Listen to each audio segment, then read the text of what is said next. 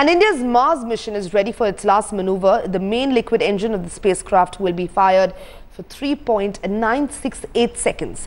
The ISRO scientists will reduce the, the, velocity of the spacecraft by 2.142 meters second so that it will help them go closer to the planet.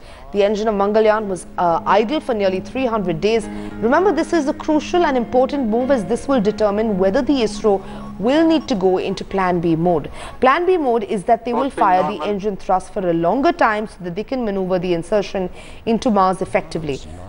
As of now, all commands are in auto mode except if they encounter some problems.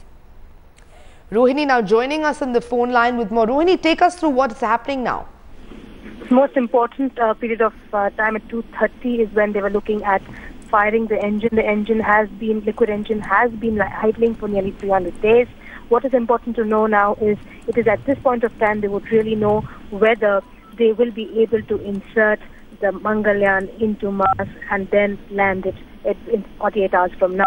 What is also important at this point of time is that this is a crucial test because the maneuvers take place from now.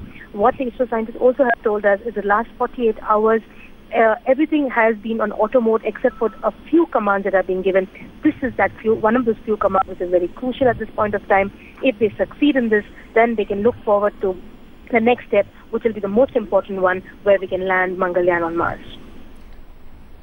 Right, Rohini, and if you can just sort of shed light on uh, the, the significance of this, considering uh, this will sort of ensure the insertion into Mars.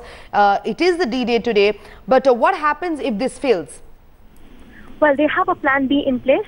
Uh, every every every such kind of a test would have a, uh, multiple plans, but plan B is also most important that they will fire the engine for a longer time. This also means if they do that, the velocity will increase. They will have to maneuver a lot more See, the whole thing is precision in this. If they maneuver a little more, that means the timing towards reaching Mars also will be delayed. And that is what Plan B is. They have set it in place, but they're looking at it positively. As we speak right now, it's being tested at this point of time. And when it happens, with the success of this, they can look at finally saying that Mangalyaan can be, at least they can start, looking at forward to Mangalyaan being a success. Uh, and Mangalyaan is also, and what the ISRO scientists and for, for the country especially, and scientific community especially, this will be, if we go successfully with it, we'll be the first Asian country to successfully launch a Mars mission in the first attempt. Right, Rohini Swami giving us that, that update. Uh, remember, this is as the ISRO will be test firing its liquid engine, the crucial test on Mangalyaan.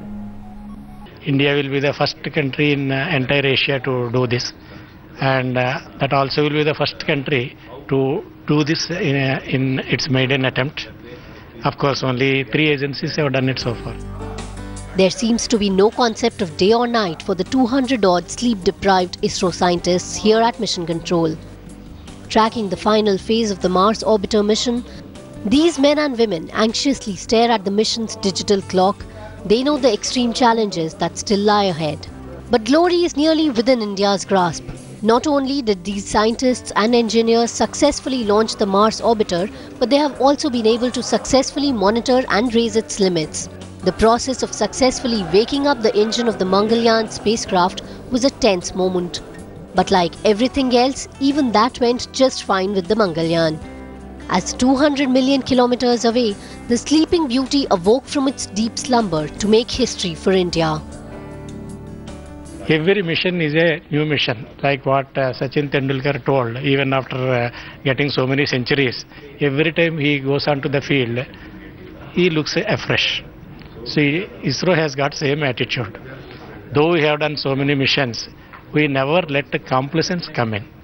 But at the same time, let me tell, teams are not nervous. We have done uh, all the simulations required and we have left uh, no stones unturned in uh, doing the test simulation in the ground to simulate the same Mars orbit insertion conditions. And with that results, we are quite confident and we'll be successful. India's dream project took to the skies on 5th of November 2013 and with it, the hopes and aspirations of every Indian who ever dreamt of conquering the stars. Now with the Mangalyaan on the verge of finishing its hundreds of millions mile long journey, Indians all over the world can take pride in the fact that their nation has now grown self-reliant when it comes to space exploration. I remember when Chandrayaan was launched at that time, uh, one of the missions was to find water on the moon, and when they did, the scientific community was elated. Well, that's what a similar kind of an, possibly a new revelation from Mars is what is expected from the scientific community. And if it is so, you can definitely say that India's Mangalyaan mission has created a niche for itself. Shrimurthy Rohini Swami in Bangalore for Headlines Today.